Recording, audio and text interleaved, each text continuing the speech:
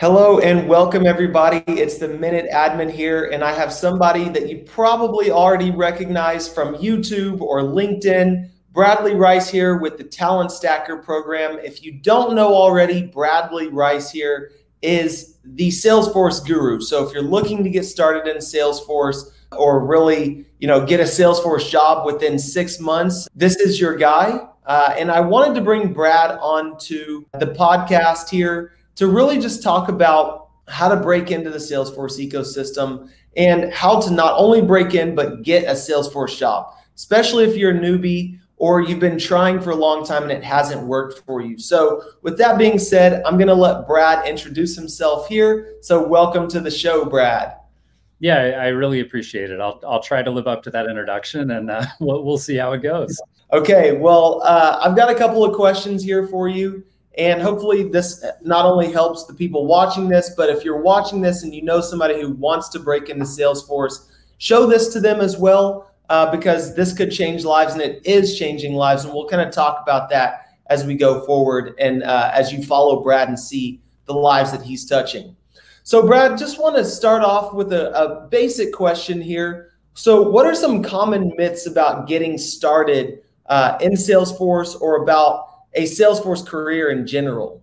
Yeah, the, there's a few different things that that I think are common myths, and and and I don't think it's that anyone is like creating a video or writing a blog article or speaking in an event and they're trying to mislead people. I think that we're all sharing information based on our experience and we end up sharing information that's more isolated or it sounds nice but it's not actually true uh, so we end up sharing information just based on something that sounds cool and not something that's actually based on evidence. So, uh, a few of those are things like in order to land an entry level Salesforce job, you need three, four, five certifications. Um, it's just not true. You need you need one certification. We've seen people land jobs with no certifications. Now, I'm not going to recommend that. Like, I think you do need to show that you're serious about this career path. But one certification does that. If you want to work on a second certification, that's completely up to you. But I would just say be thoughtful about how you spend your time preparing because there are things you can do to prepare, like interview prep, personal branding, networking, things like this, where you might be putting all of your energy into a second, third, fourth, fifth certification. And really, that's not the most efficient route forward. So I would say, you know, one of the big myths that I think stops a lot of people from going this route is that they hear you need a lot of certifications to get started. And then they get one and they're like, man, that was tough. And so they give up because they don't feel like getting three or four. Um, so that's the one thing I would say. The other thing I would say is that uh, there's this sort of misunderstanding that there, there are only developer jobs in the Salesforce ecosystem. Um, but most people who are inside the ecosystem know that's not true uh, actually most of the jobs are non-coding jobs. Now, a lot of times people say, hey, you're either a developer or an admin, but that's not true at all. You have, we can start with developers and admins, but you have business analysts, you have project managers, uh, you have what are called engagement managers, you have specialists uh, like CPQ, Field Service Lightning, Marketing Cloud, like yourself. Um, there are so many different avenues you can go within the Salesforce ecosystem, not to mention consulting and solution architects and technical architects. There are all these different job roles.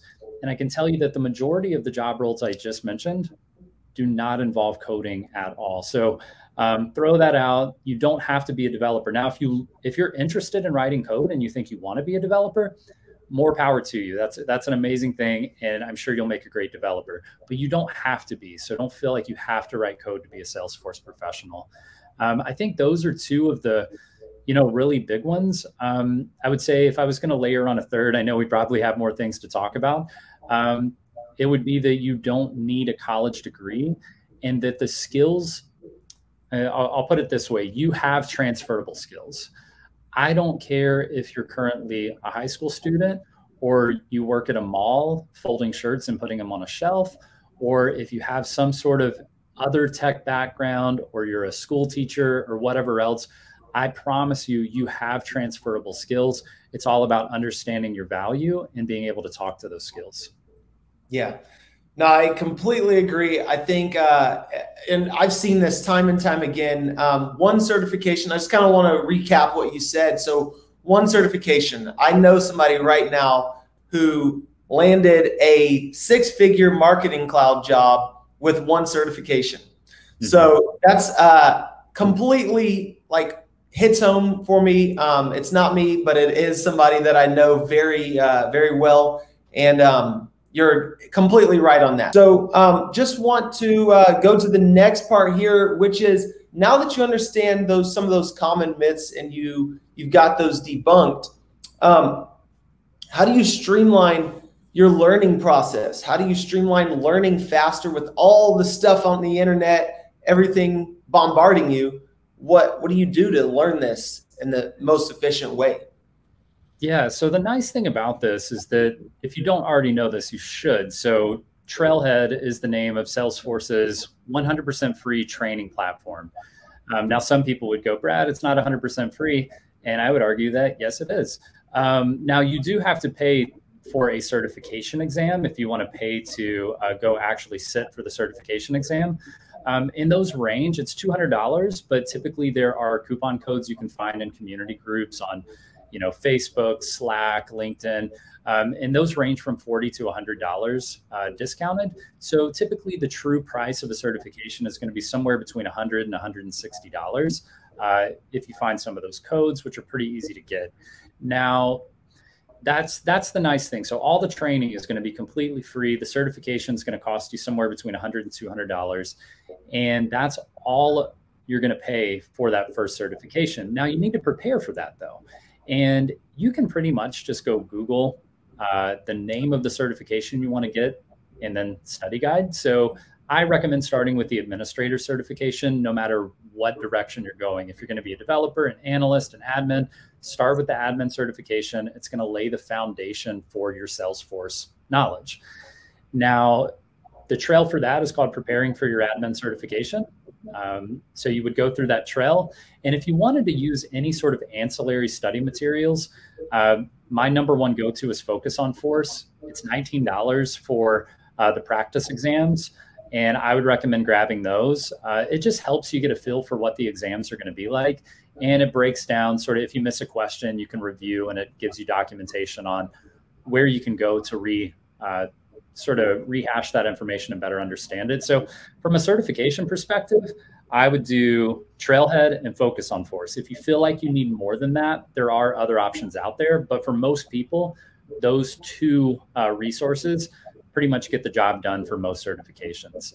Having a certification is not everything. You're not just going to hop on Focus on Force, hop on Trailhead, get a certification, go put in a job application, and have people handing you offers left and right. That's not how this works there's more that goes into it and that's why you hear some of this you know the, these myths like you need five certifications because people don't understand what else goes into getting the job so they just think well i got one certification maybe i need two maybe i need three maybe i need four and they just keep going down the certification treadmill and what you need to do is think strategically about how you could maybe go forward without certifications. Maybe that's not what's holding you back.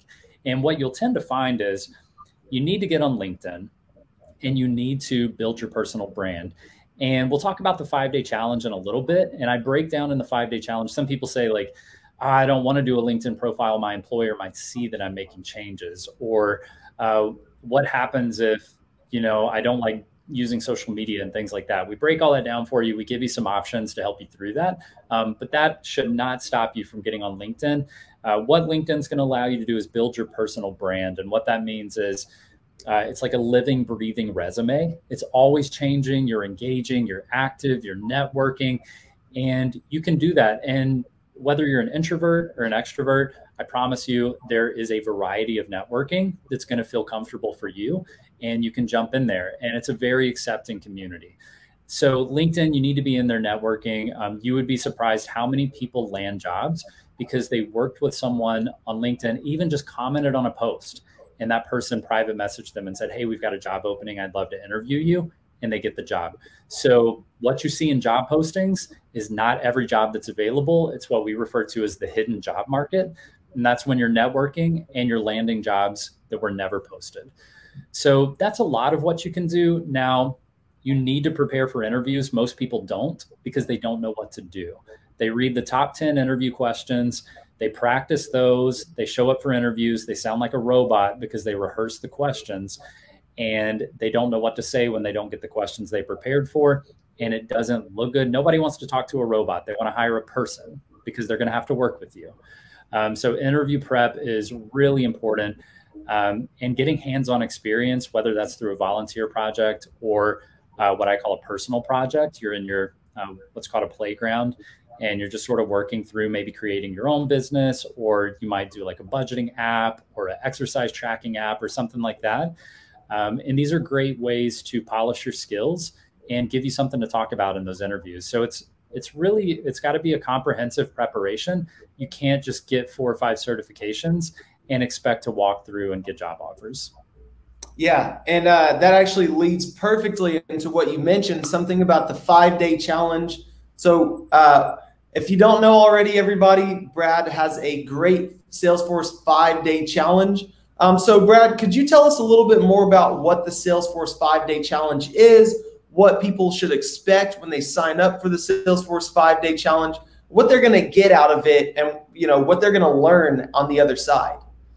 Yeah. So first of all, if you're taking notes, um, in the video description down below, uh, you'll want to head over to talentstacker.com forward slash Salesforce uh, to get started. But we'll have a link below. You don't need to remember that. Just click the link and you'll be good to go. Uh, what that's going to do is it's five days and you're expecting to put in about 30 minutes a day. Now, you don't have to do these five days in a row. You could sign up today and start next week. It's totally up to you. But I would go ahead and get in there. And what we're going to do is we're going to send you five emails, one each day. And it's going to start with showing you exactly how to set up your Trailhead account. That's that 100% free training platform we talked about.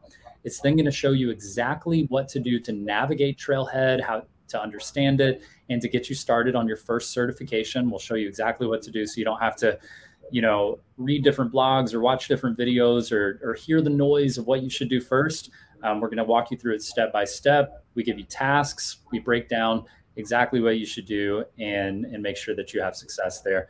Now, on day three, we're going to walk you through how to set up your LinkedIn account and how to get started posting with some ideas about how to engage and start sort of breaking the ice for yourself getting involved in LinkedIn. Day four, we're going to show you exactly how to get real world experience before you ever land your first job. Most people say, how, you know, nobody wants to give me a job because I don't have experience, but I can't get experience and nobody gives me a job. We're going to show you how to get beyond that obstacle. And then day five, we're actually going to go through uh, the top five reasons that people do not land Salesforce jobs, why they uh, they fall short because they don't do the right things. So we're going to tell you the five keys to landing Salesforce jobs so that you can be prepared for the entire process. And it's not that you're going to learn it all in these five days, but you're going to understand what it takes to land your first Salesforce job so you can mentally prepare for the steps ahead of you. Yeah, and uh, you know it's funny. I usually ask people um, that I do podcasts with or that I interview with like this. Um, what are your tips and resources? But you have the ultimate tips, the ultimate resources list all compiled into this one Salesforce five day challenge. So, everybody listening, literally, there's no other uh, tip or trick or link that I could ask Brad for that is going to be um, on the level of this free Salesforce five day challenge. Remember, it's absolutely free. You just put in your email um, learn exactly what Brad said over the over the next five days. You can start anytime. Um, so that is really the last question that I would ask, and you just covered that in great detail. With that being said, uh, thank you for answering some common questions that I know a lot of people have, dispelling some of those myths, and uh, helping you know whoever's watching this to get streamlined and started as efficiently as possible in the Salesforce ecosystem especially with your free five day Salesforce challenge. So, with that being said, thank you so much for joining uh, today here, Brad. Um, I will take any questions for anybody who has any questions in the comment section below. So, if you do have any of those questions, make sure to leave questions in the comment section. I will also be linking Brad's LinkedIn here as well as mine. So if you have questions, just feel free to reach out to either one of us. Thanks, Brad. Awesome. Thanks for having me.